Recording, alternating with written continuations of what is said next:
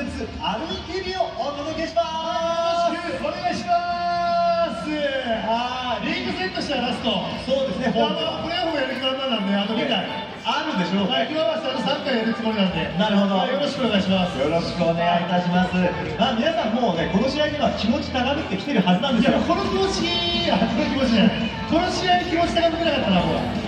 意味わからんからそのまあ最初マジでこの試合手先のこの一戦を取って次につなげる。はいそれを積み重ねるだけですから。そうですね。はい今日の試合勝ちましょうまたね。熱くなってる要因の一つは前節の試合の内容もあると思いますいやーよかったですね。え振り返りましょう。岩手クルージャー盛岡戦でしたが、はい、はいご覧の通りでございます。1対6そうですね。本当にあのー各選手たちが6選手違う選手が点を取ってよかったですしやっぱりあのなかなか点が取れなかった浅川選手も決めたりとか翼も決めたりとかもう本当にポジティブな要素が集まってる試合だったと思うのでその勢いそのままに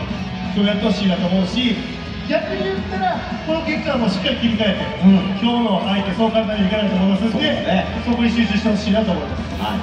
い、ではガチャさん、はい。例のコーナーいっちゃいますか？やりましたあのちょっと右目が痛いから左目でやるわ痛いからねうん。ちょっと赤い。はい、では良かったシーン次につながるプレーをピックアップするガチャ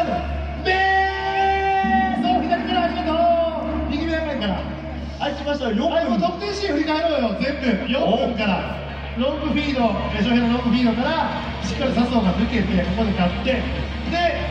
村越選手がシュート。いやーです右ねもうシュートを打てば何かが起きる相手当たって入っても何でもいいんですよ。1点だから。もう4分に先制点取れたこと、はい。そしてでかかったのはこの追加点。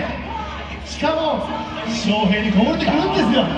ねいやもう本当に気持ちよさそうに翔平もプレーしてるしこのゴール取った後もね無邪気な笑顔でこんな可愛い子すんねやみたいな移籍後はい、す。ごいあの充実したシーンあのシーンだったんじゃないかなと思うし、で3点目しっかりと山本康選手カットしてすぐにパスにつなげる、はい。で流れるようなコンビネーションから最後はレオ。いやー決めましたね。すごいね。うもうなんていうの？このゴールも彼にとってはすごい大きなゴールだと思うし本人も嬉しかったと思うしね。そうですね。で前半まで終わったって、まあ、このシーンですよね。菊池選手が抜け出して、ちょっと判定相手かわいそうだったけど、うん。これが J3 だからあの脇腹で当たってたけど、この PK をしっかりとキャプテンが決める、はい。ど真ん中に決める。もうこれ勝負ありですけども後半ズルズルいかずにしっかりと早い時間で今度は翼が強い。はい、得意のミドルシュートやっと入りましいたや素晴らしいーもうこれ完璧ですね。もう本当にワールドクラスのゴールを彼は決めるけどこれも綺麗ですいやー綺ね麗です。で最後に待望のはい。今シーズン13ゴール目あ。7試合ぶりのエースのヘディング。ドンピシャ。そう。もうなんとかゴールで入ればいいんだけど、はい。まあ、これで彼もまた乗っていけるんじゃないかなと思うし彼もね一番安堵の表情をしたと思うんで、はい。はい。チームとしてもポジティブな6ゴールだと思います、はいではここでリーグ戦の順位チェックしましょう。そうですね、昨日大阪が勝ってるんで、そうですね。3、4位、あ、じゃあ4位、5位入れ替わってるけど、ええ。今日我々が勝てば問題なく、そうです。あの4位になるので、あとは富山の結果次第ですけど、うんまずは自分たちが今日の試合に3を取れるかなって、はい。はい。そこに特化して、高いとはちょっと忘れて、そうですね。やりたいですね。はい、この前の試合に集中ということになりますが、その今日の対戦相手は FC 琉球です。いやーこれ振り返ると東北琉球から FC 琉球ファンサポーターの皆さんようこそサンプラウンにお越しくださいましたありがとうございまはるばる遠いところにありがとうございますす。本当ですよ。ねえ思い起こせば第2節で琉球のアウェーにね僕らからしたらアウェーに乗り込んで今回は来てくれて多くの方来てくれたんで、はいはい、いい試合したいし、そうですねただ勝ちは譲りません。そこは譲れない。ということになりますが、はいさあ今の FC 琉球チームについてどう見てますか？正直言ってすごいいいチームだしすごい強いチームだなって感じてます。前節も首位欧米相手にあの最後の最後まで勝ちかけてましたし、はい。やっぱりしっかりとボールをつないで、えー攻撃してくるだったりいろんな選手が関わっていい攻撃のリズムで、えーやれてると思うんでそこはちょっとうちとしては止めなくちゃいけないところだしやっぱりシュートの意識も高いんで、はい。ちょっと意識があったらミドルも含めてガンガン打ってくるチームなんでやっぱりそこら辺は脅威だなと思いますけどもそこはシャットアウトして超えていかなくちゃいけない。大きな声ですね。ではその中でも要注意選手を挙げるとすると。僕はねまず6番岡澤選手かなと思いますね、やっぱホームラン運動量であったり、まあ、技術も高い選手ですし、まあ、前節もすごいいい流れの中からシュートも打ってましたし、